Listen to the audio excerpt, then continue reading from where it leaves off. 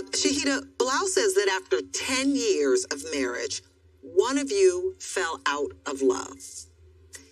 Is that how you would describe what happened to your relationship?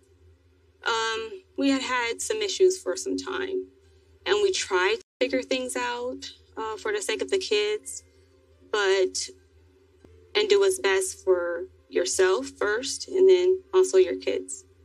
What made you most unhappy with the marriage?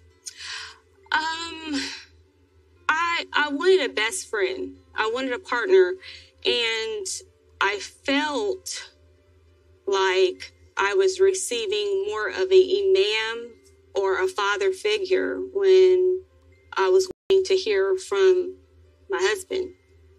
So lecturing you? Um. Yes, it was